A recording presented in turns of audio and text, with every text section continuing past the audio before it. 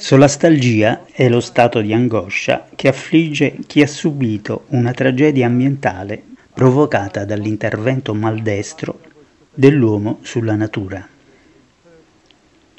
Il termine è un neologismo coniato dal filosofo ambientale Glenn Albrecht, un australiano che ha descritto agli inizi di questo secolo gli effetti dannosi sulla salute mentale degli abitanti della regione australiana di Upper Hunter, che subivano senza possibilità di controllo lo sconvolgimento ambientale legato allo sfruttamento intensivo delle miniere di carbone a cielo aperto. Il termine solastalgia deriva dalla crasi, cioè dall'unione di due parole in una sola. La parola latina solarium, che significa conforto, e la radice greca algos, che significa dolore. Per Albrecht, la solastalgia è un tipo di nostalgia di casa o malinconia che provi quando sei a casa e il tuo ambiente familiare sta cambiando intorno a te in modi che ritieni profondamente negativi. E l'ha assimilata alla sindrome da sradicamento, propria, ad esempio, delle persone deportate dalla propria terra. Gli abitanti della Upper Hunter Valley erano infatti nostalgici, addolorati, ansiosi, arrabbiati, irrequieti, depressi, con la sensazione di alienazione di aver perso la speranza e di non poter essere aiutati, proprio come se fossero stati rimossi con la forza dalla valle, ma non era successo. Era la valle ad essere cambiata intorno a loro.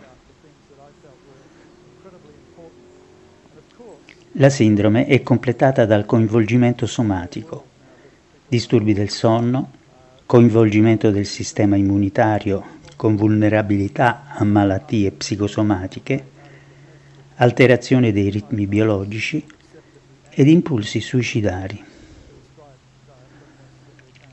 Ed impatta anche sulla coesione dei nuclei familiari, sulla relazionalità sociale e sulla comunità.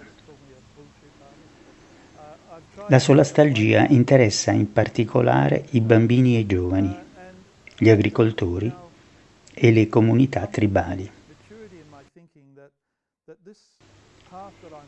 Albrecht ha scritto Gli aborigeni australiani, i Navajo e qualsiasi popolazione indigena hanno provato questo senso di dolore e disorientamento dopo essere stati sfollati dalla loro terra.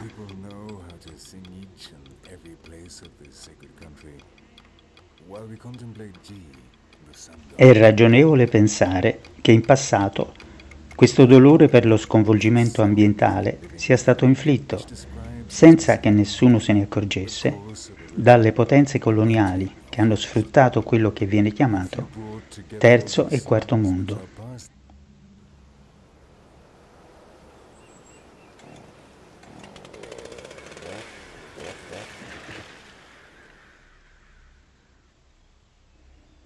Attualmente la solastalgia non colpisce solo le persone che vivono nei pressi di miniere o di siti di fracking. O in aree colpite da fuoriuscite di petrolio. O da eventi climatici estremi come gli uragani. È una condizione globale sempre più condivisa per l'inarrestabile degrado dell'ambiente che può paralizzare e accentuare il nostro senso di impotenza. Albrecht ha anche studiato gli effetti psichici della siccità persistente legata al riscaldamento globale sulle comunità del New South Wales. E la siccità alternandosi ad uragani, sta invadendo progressivamente l'intero globo. La siccità potrebbe colpire oltre tre quarti della popolazione mondiale, privando... Ma la sola stalgia può essere la molla per cambiare. Greta Thunberg, ad esempio, quando aveva otto anni, fu informata dal padre delle catastrofi ambientali in corso e di quelle future. E ciò ebbe su di lei un effetto sconvolgente.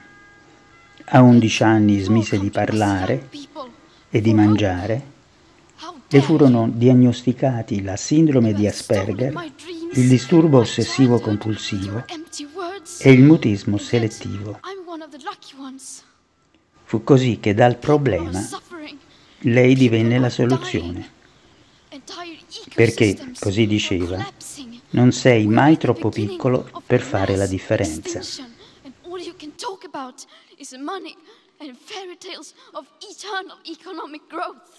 How dare you!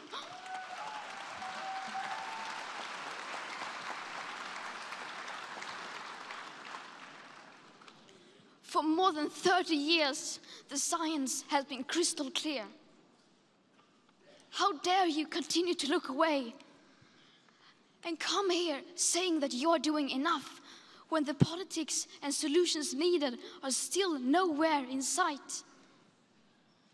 You say you hear us and that you understand the urgency.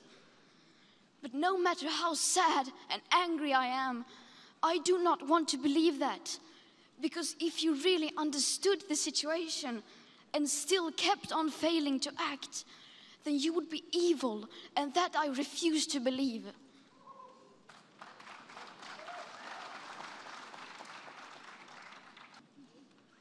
You are failing us. But the young people are starting to understand your betrayal. The eyes of all future generations are upon you. And if you choose to fail us, I say we will never forgive you.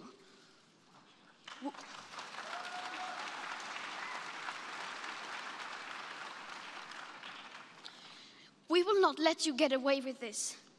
Right here, right now, is where we draw the line. The world is waking up, and change is coming whether you like it or not. Thank you.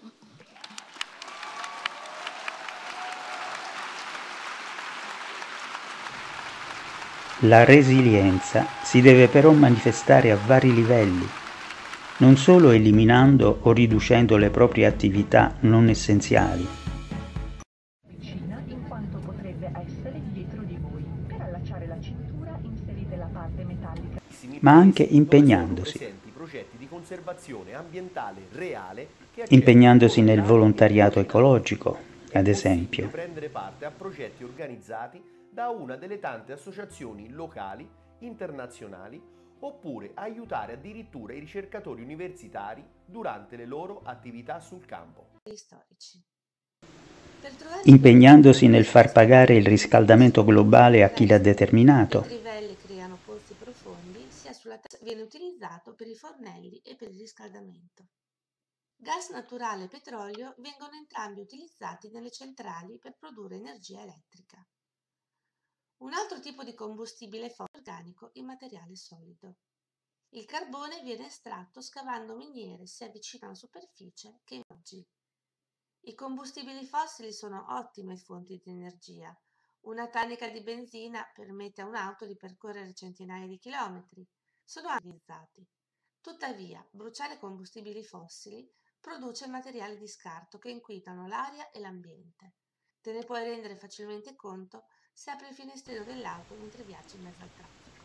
Impegnandosi contro i rincari delle bollette che ricadono sulle fasce di popolazione più deboli, mentre i governi dovrebbero vietare o tassare fortemente i consumi antiecologici. Scioglimento dei ghiacci e aumento del livello degli oceani, con la T, perché li usiamo ad un ritmo estremamente più veloce di quello che serve alla Terra per riformarli.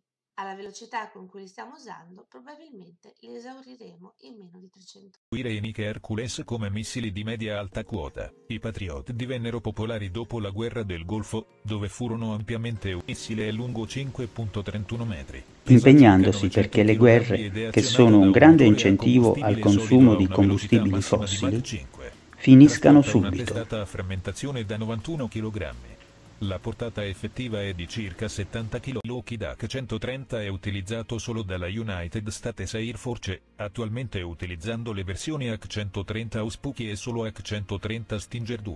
Carlin Petrini, il fondatore e presidente di Slow Food, ha lasciato la presidenza della sua associazione dichiarando la situazione del mondo è molto grave. Abbiamo combinato degli sconquassi biblici stiamo conducendo il clima della Terra verso un deterioramento irreversibile. La politica, malgrado le denunce degli scienziati, non fa nulla. Ogni anno le governance mondiali si radunano da qualche parte e prendono decisioni flebili che poi non mantengono. Non abbiamo più tempo. Se la politica non si muove, non sa essere visionaria per salvare il pianeta, allora deve farlo la società civile. Dobbiamo farlo noi. Deve farlo l'umanità intera. In questo senso intendo che dobbiamo fare politica non per diventare un partito, ma per costringere i politici ad agire. Dobbiamo implementare il nostro attivismo non possiamo più fermarci. Dobbiamo cambiare il paradigma che oggi domina il pianeta.